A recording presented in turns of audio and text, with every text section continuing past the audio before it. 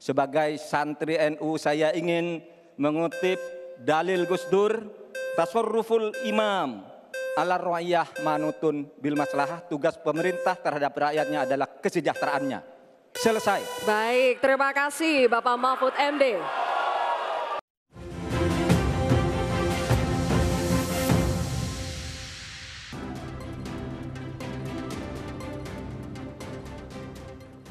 Terima kasih Anda masih menyaksikan debat keempat calon wakil presiden pemilu tahun 2024. Bapak Ibu sekalian, segmen keenam adalah segmen terakhir di debat kali ini, di mana para calon wakil presiden akan menyampaikan closing statement atau pernyataan penutup. Untuk itu kami undang kembali ketiga calon wakil presiden untuk kembali menuju podium masing-masing. Silakan.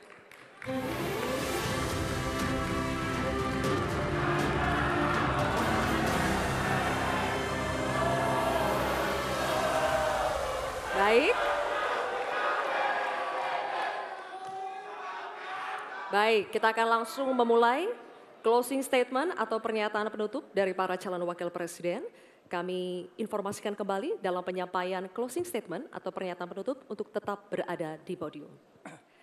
Untuk kesempatan pertama, kami berikan kepada calon wakil presiden nomor urut 3, Bapak Mahfud MD, untuk menyampaikan pernyataan penutup Anda.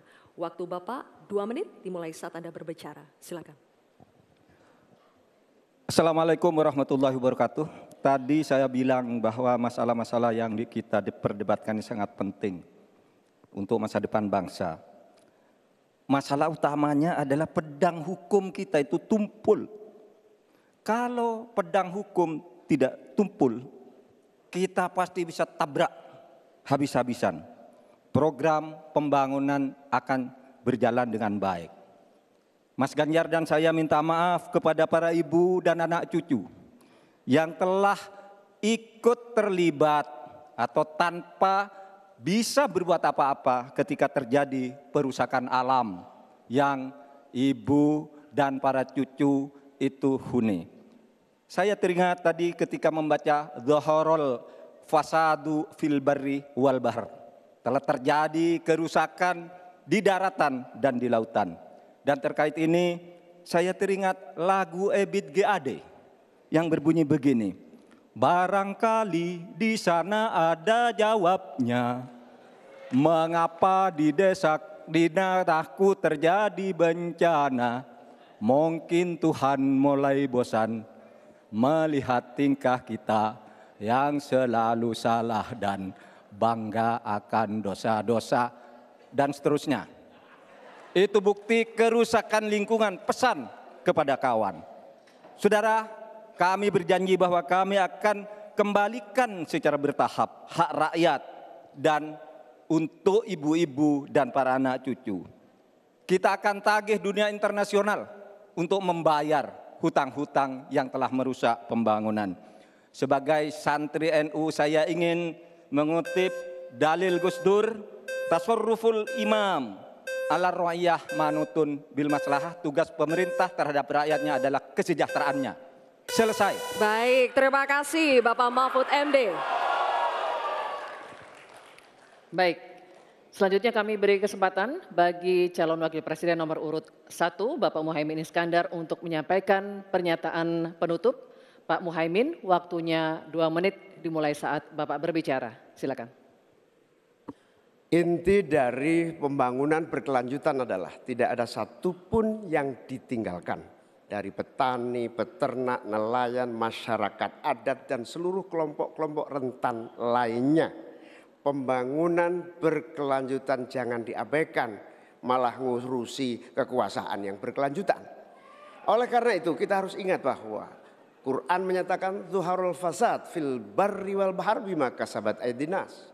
Telah nyata kerusakan di darat dan di laut karena ulah tangan manusia. Bahkan Paus Franciscus juga mengingatkan kepada kita semua, posisi yang agak rawan masa depan kita, kita harus melakukan taubat ekologis. Taubat itu dimulai dari etika. Sekali lagi, etika. Etika lingkungan dan etika pembangunan Jangan ugal-ugalan, jangan ngangkangi aturan, Jangan sembrono, ojo sakar PDW. Saudara-saudara sekalian, insya Allah kalau Amin mendapatkan mandat, kita akan sungguh-sungguh. Yang pertama, kita akan anggaran untuk mengatasi krisis iklim, kita tingkatkan secara signifikan, termasuk riset sekaligus implementasi energi baru dan terbarukan. Kita sahkan RUU masyarakat adat secepat-cepatnya dana subsidi atau dana untuk masyarakat desa kita tingkatkan 5 miliar per tahun agar warga desa dapat menikmati pembangunan. Yang selanjutnya kita juga akan teruskan subsidi BBM untuk masyarakat miskin, petani, nelayan miskin dan kelompok rentan lainnya. Transportasi publik menggunakan energi listrik juga menjadi salah satu solusi untuk mengurangi polusi dengan cara pembangunan kota. Reforma agraria harus dieksekusi untuk memangkas ke ketimpangan. Saatnya kita berubah, saatnya kita pilih perubahan.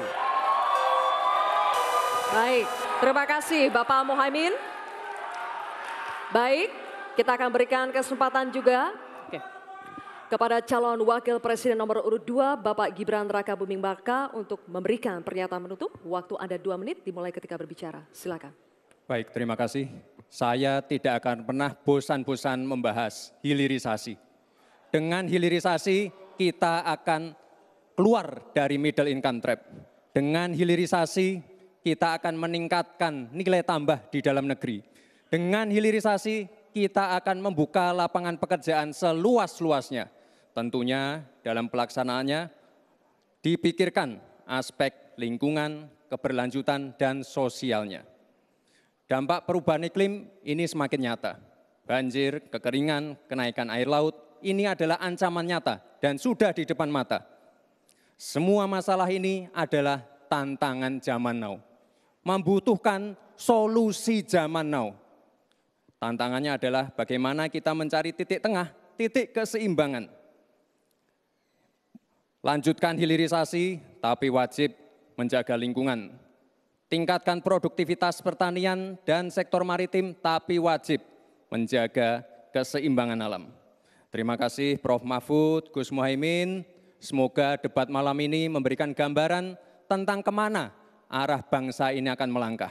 Sekali lagi, tantangan zaman now membutuhkan solusi zaman now. Tentunya anak-anak zaman now perlu lebih banyak lagi dilibatkan. Terima kasih Pak Prabowo sebagai salah satu senior dan teladan yang paling banyak melibatkan anak-anak zaman now. Langkah awal menuju Indonesia emas, datang ke TPS, coblos nomor dua, Prabowo Gibran. Terima kasih. Mas Gibran masih ada waktu? Waktunya masih ada. Cukup atau cukup, cukup? Mas Gibran. Baik. Baik, terima kasih.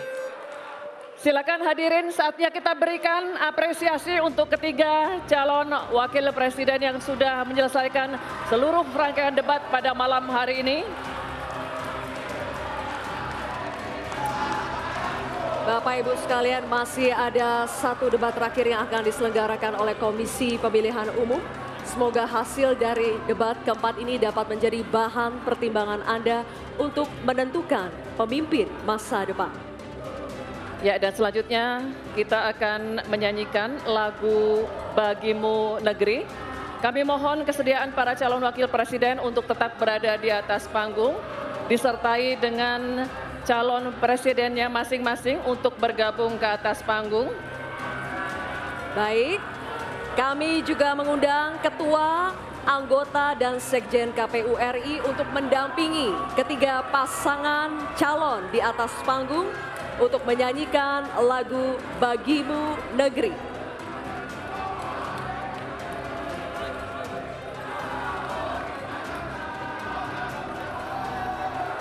Hadirin sekalian, dimohon berdiri.